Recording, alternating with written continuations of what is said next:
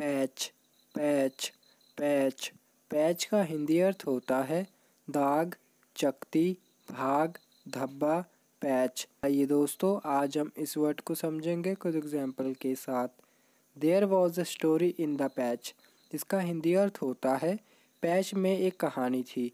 इसी तरह दूसरा एग्ज़ाम्पल है हमारा ही set in a patch of week इसका हिंदी अर्थ होता है, वो कमज़ोर के एक पैच में बैठ गया। इसी तरह तीसरा और आखिरी एग्ज़ाम्पल है हमारा। I was on the patch इसका हिंदी अर्थ होता है, मैं पैच पर था। दोस्तों, उम्मीद करता हूँ इन एग्ज़ाम्पल के माध्यम से पैच का हिंदी अर्थ काफ़ी अच्छे समझ गए होंगे। दोस्तों, ऐसे ही अंग्रेज़ी शब्दों को हिंदी में समझने के लिए आप हमारे इस यूट्यूब चैनल को सब्सक्राइब भी कर सकते हैं। धन्यवाद।